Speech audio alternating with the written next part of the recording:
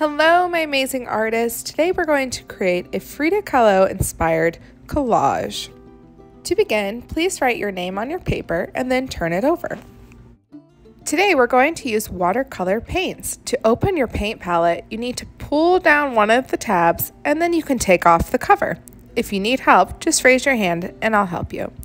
So as you can see, these watercolor paints are dry. You need to wake up your paint by putting a little bit of water on your brush and then set your brush into the color that you choose and you're going to roll it like I'm showing here. It's kind of like you're letting your brush soak in the color and then whenever you have color on your paintbrush, you are ready to paint. Your paintbrush always dances across the page. You never want to smush it down onto your page. Instead, think of it like a ballerina dancing on its tiptoes.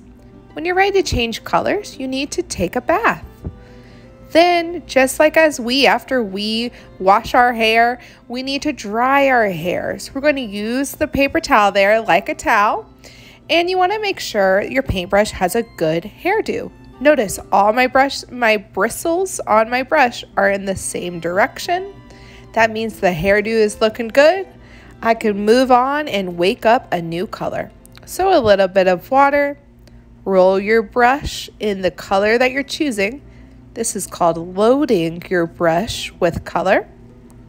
And then you're going to paint different lines on your paper. So today your goal is to use watercolor paint and create different lines on your paper. You are welcome to choose any types of lines that we have looked at in class and you can have different colors. That is up to you as the artist. Since we are using watercolor, if you notice that the color of the paint is not really standing out, that means that you need to go back into your paint and pick up some more color. You could even go over your lines a few times if you want really bright colors. If you don't want very bright colors, that means you need more water. Today is all about experimenting to see how much paint you need and how much water you need. The most important thing, though, is that you have to take care of your paintbrush. That means before picking up a new color, you have to make sure that you clean it. When cleaning it, you want the hair, which is called bristles on your paintbrush, to be in one direction. Also notice that I'm painting in one direction. Otherwise, if I don't do this, the hair on the paintbrush could actually start to fall out. When you're done painting, make sure you clean the paintbrush one more time, close your paint palette like I did, and then it's time to clean up. That means we'll put your painting on the drying rack, which I'll show you how in class. But then at your workstation, use that paper towel to try to clean up your work mat as best as you can. Then it's time to return your cup. You're going to gently pour it down the sink and then set it in the dirty tub. In class, I'll show you where to put your watercolors. For our next step, you're going to take your green half sheet and fold it in half. Put your fingers in the middle and crease up, crease down. Then it opens kind of looking like a book or like a mouth. You want it to open away from you. So the side that's folded is near your belly. Then you're going to draw a line. You could use marker or pencil. And it's going to be a line that goes up and down, which is a vertical line. And then a line that goes side to side, horizontal line. Keeping your booklet closed, you're now going to cut on the line that you drew. So when we're cutting artist, you want to make little baby shark chops. So I'm going to chop, open, slide, chomp, open, slide, chop, and I just continue. Then I use my holder hand to rotate the paper and I continue my chop, open, slide, chop, open, slide. Next up, you're going to take the red half sheet and you're actually going to glue what you just cut on top. So a few things. When we're using Mr. Glue Bottle, you want to turn the top of the glue bottle. You know you opened it if there's a little gap.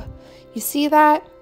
Then when we're using glue, it's always important to just use a little bit at a time.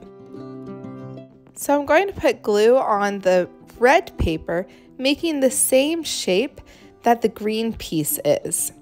Next thing, when I'm done, you need to close the Mr. Glue bottle. Then you're ready to put your paper on top. I'm putting paper on top of paper and gluing it. This is called a collage. When you collage things, you want to take your fingers and have them do little steps, little itty bitty steps on top, just massaging those papers together, making sure that they stick and can stay there. With that leftover piece of green paper, we're going to use it to create another fruit. So look, I'm gonna turn this into actually an oval. All you have to do is cut the corners.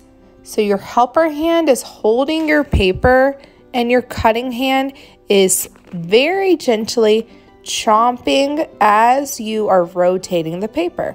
This will act as another watermelon in our collage.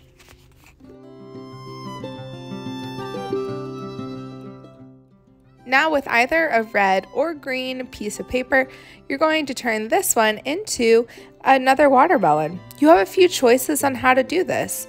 If you would like to make your watermelon look similar to one of the watermelons in Frida Kahlo's paintings, all you do is trim the bottom in these curved lines.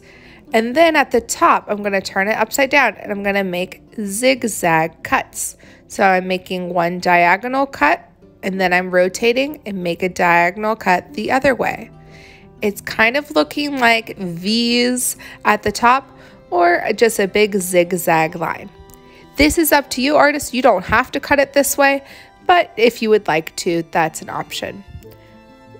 Another option is if you want this to look even more like a watermelon, you can use that same technique of cutting, trimming the corners to make them just a little curved. All right, next part. Now that our papers are cut and the glue has dried, we're going to add some details so we can tell that these are watermelon.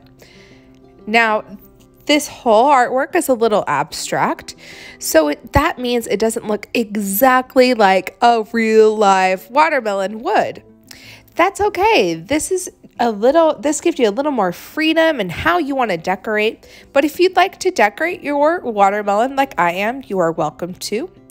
Some other ideas are just using different types of lines and colors to add different designs and decorations to your watermelons. That's totally up to you, friends. This does not look like a real life watermelon, and that's okay. I want it to look different just so it's a little more exciting. A great idea is to use different lines and different colors to create patterns on your watermelons. This will create a sense of rhythm throughout your artwork.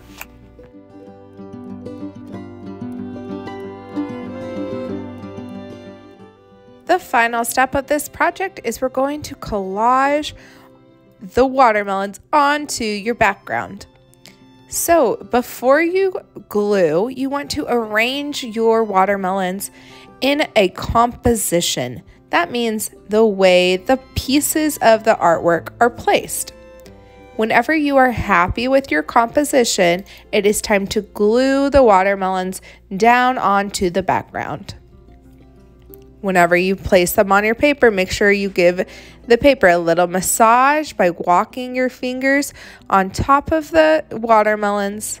And then also remember if you want to overlap some of your watermelons, that's a great idea. That creates a sense of space. Some are in the front, some are in the back. You just have to remember which ones you're going to glue down first because those will be in the back, and then the ones in the front you'll glue on top. Now we will let these dry. But congratulations, artist! You just created your first collage inspired by Frida Kahlo's watermelon painting. I cannot wait to see what you create.